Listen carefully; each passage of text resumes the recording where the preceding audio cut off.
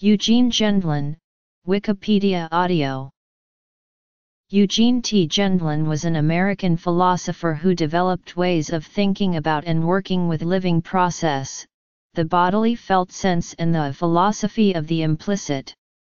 Though he had no degree in the field of psychology, his advanced study with Carl Rogers, his long-time practice of psychotherapy and his extensive writings in the field of psychology have made him perhaps better known in that field than in philosophy. He studied under Carl Rogers, the founder of client-centered therapy, at the University of Chicago and received his PhD in philosophy in 1958. Gendlin's theories impacted Rogers' own beliefs and played a role in Rogers' view of psychotherapy.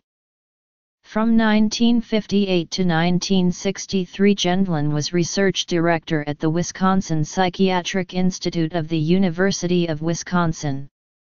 He served as an associate professor in the departments of philosophy and comparative human development at the University of Chicago from 1964 until 1995. Gendlin is best known for focusing and for thinking at the edge, two procedures for thinking with more than patterns and concepts.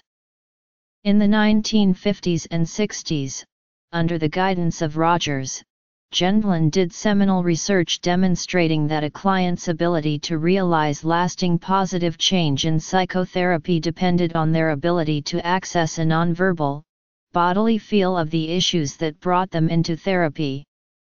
Gendlin called this intuitive body feel the felt sense.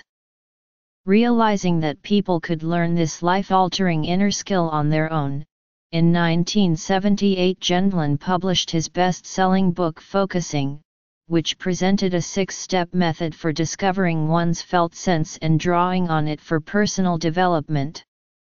Gendlin founded the Focusing Institute in 1985 to facilitate training and education in focusing for academic and professional communities and to share the practice with the public. In the mid-1980s, Gendlin served on the original editorial board for the journal The Humanistic Psychologist, published by Division 32 of the American Psychological Association. He has been honored by the APA three times, and was the first recipient of their Distinguished Professional Psychologist of the Year award. He was awarded the Viktor Frankl Prize by the Viktor Frankl Family Foundation in 2008. In 2016, he was honored with a Lifetime Achievement Award from the World Association for Person-Centered and Experiential Psychotherapy and Counseling and another Lifetime Achievement Award was given to him that same year by the United States Association for Body Psychotherapy. Gendlin was a founder and longtime editor of the journal Psychotherapy, Theory, Research, and Practice as well as the in-house journal of the Focusing Institute called The Folio, and is the author of a number of books, including Focusing-Oriented Psychotherapy, a manual of the experiential method. The mass-market edition of his popular classic Focusing has been translated into 17 languages and sold more than a half million copies. Philosophy Gendlin regarded himself first and foremost as a philosopher and he brought a rigorous philosophical perspective to psychology, presented in his early book Experiencing and the Creation of Meaning and later developed into a comprehensive theory of the deep nature of life processes, articulated in his masterwork A Process Model. From 1968 to 1995 he taught in both the philosophy and psychology departments at the University of Chicago. There he taught a course on theory building that later gave rise to a new practice called Thinking at the Edge, a 14-step method for drawing on one's non-conceptual, experiential knowing about any topic to create novel theory and concepts. Gendlin asserts that an organism's living interaction with its environment is prior to abstract knowledge about its environment. Living is an intricate, ordered interaction with the environment, and as such, is a kind of knowing. Abstract knowledge is a development of this more basic knowing. For example, when a pen falls off a desk, that seems to be proof that gravity exists, because gravity made it fall. But what is gravity? In 1500, gravity was the pen's desire to go to the center of the earth. In 1700 gravity was a force that acted at a distance according to mathematical laws. In the 1900s gravity was an effect of curved space-time, and today physicists theorize that gravity may be a force carried by subatomic particles called gravitons. Gendlin views gravity as a concept and points out that concepts can't make anything fall. Instead of saying that gravity causes things to fall, it would be more accurate to say that things falling cause gravity. Interaction with the world is prior to concepts about the world. Experiencing and the creation of meaning, a philosophical and psychological approach to the subjective, thinking beyond patterns, body, language, and situations, the primacy of the body, not the primacy of perception, how the body knows the situation and philosophy, crossing and dipping, some terms for approaching the interface between natural understanding and logical formulation, a process model, the responsive order, a new empiricism, how philosophy cannot appeal to experience, and how it can.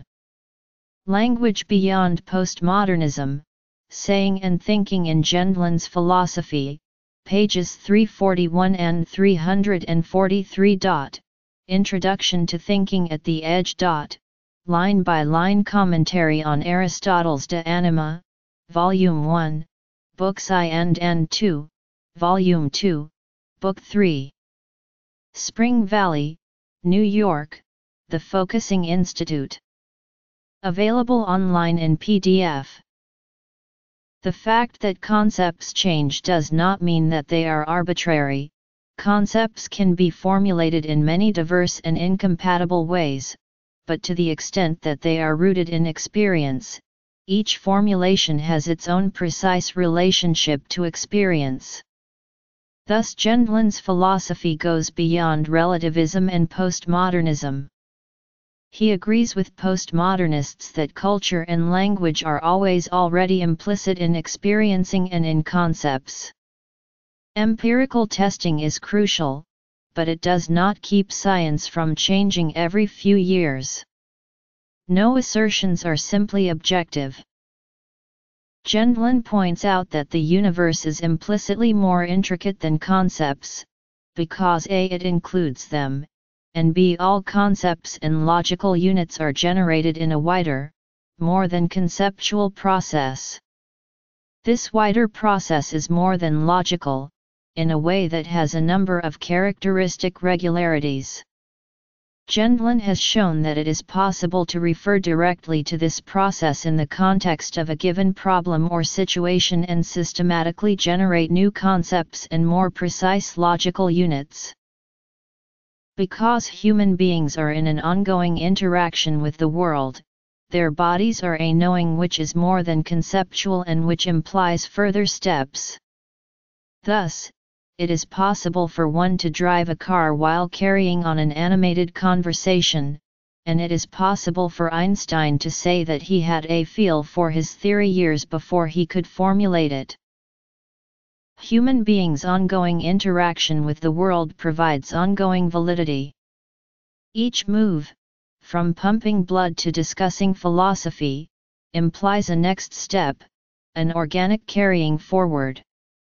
Humans feel this carrying forward both in the move itself and in the feedback it generates. At each moment, it is possible to feel how things are moving and what is implied next. With specific training, one can learn to attend to this feeling more deeply, so that a holistic felt sense of the whole situation can form. A felt sense is quite different from feeling in the sense of emotions, it is one's bodily awareness of the ongoing life process. Because a felt sense is a living interaction in the world, it is not relative in the way that concepts are. A felt sense is more ordered than concepts and has its own properties, different from those of logic, for example, it is very precise, more intricate, and can be conceptualized in a variety of non-arbitrary ways. Much of Gendlin's philosophy is concerned with showing how this implicit bodily knowing functions in relation to logic. For example, Gendlin has found that when the felt sense is allowed to function in relation to concepts, each carries the other forward, through steps of deeper feel and new formulation. Focusing, let your body interpret your dreams, focusing oriented psychotherapy. Gendlin underlines that one can progress in their understanding, and that this involves transitions in which existing conceptual models are disrupted, but that one can feel when a carrying forward in insight is occurring. One can feel this because human logical conceptions are dependent on a more intricate order, which is living in the world. Useful concepts derive from and are relative to this sense more than logical, intricate order, not the other way round.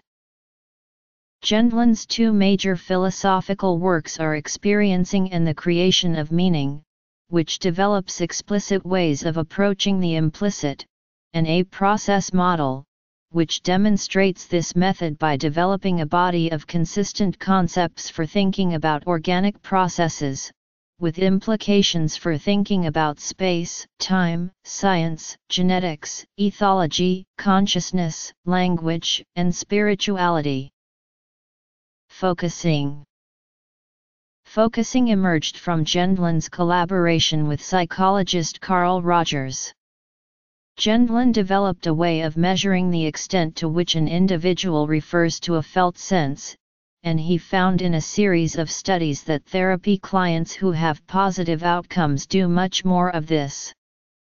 He then developed a way to teach people to refer to their felt sense, so clients could do better in therapy. This training is called focusing.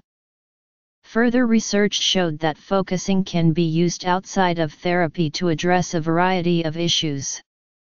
It is described in Gendlin's book, Focusing, which has sold over 400,000 copies and is printed in 12 languages. One of his most beloved quotations is from his book Focusing When I use the word body, I mean more than the physical machine. Not only do you physically live the circumstances around you but also those you only think of in your mind. Your physically felt body is in fact part of a gigantic system of here and other places, now and other times, you and other people in fact, the whole universe. This sense of being bodily alive in a vast system is the body as it is felt from inside. In 1970, Gendlin was the first person to receive the Distinguished Professional Award in Psychology and Psychotherapy from the Psychotherapy Division of the American Psychological Association. In 2000, Gendlin also received, along with the Focusing Institute, the Charlotte and Karl Bühler Award from the Society of Humanistic Psychology. In 2007, he was a recipient of the Viktor Frankl Award of the City of Vienna for outstanding achievements in the field of meaning-oriented humanistic psychotherapy. The worldwide dissemination of focusing has been facilitated by the International Focusing Institute. This non-profit organization defines itself as an international, cross-cultural organization dedicated to supporting individuals and groups worldwide who are practicing, teaching, and developing focusing and its underlying philosophy. Their 2010 membership directory listed about 2,000 members in over 40 countries. Its website houses the Gendlin Online Library.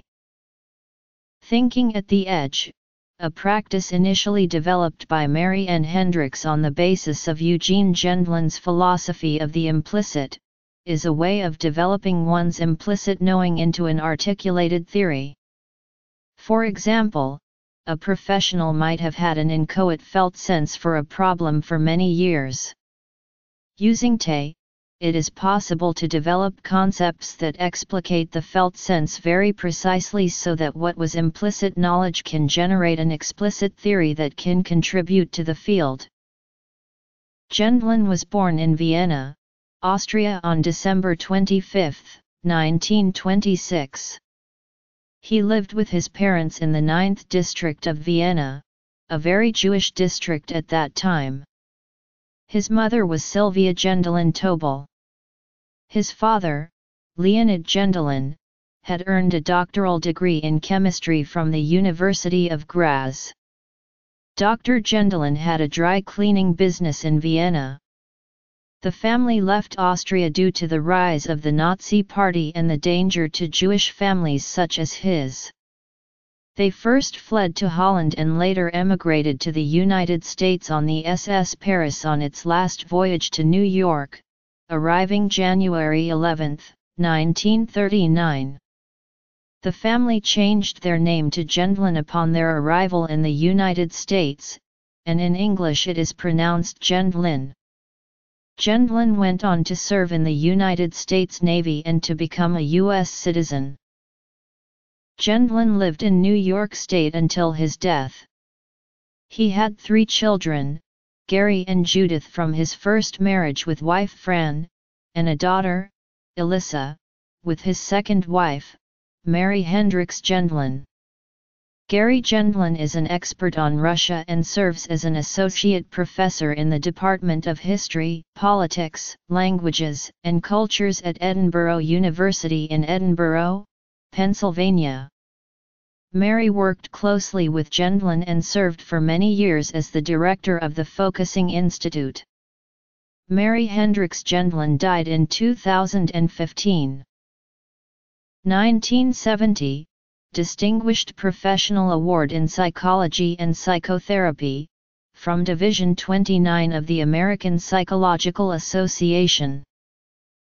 Thinking at the Edge Personal Life 2000, Charlotte and Karl Bühler Award, from Division 32 of the American Psychological Association.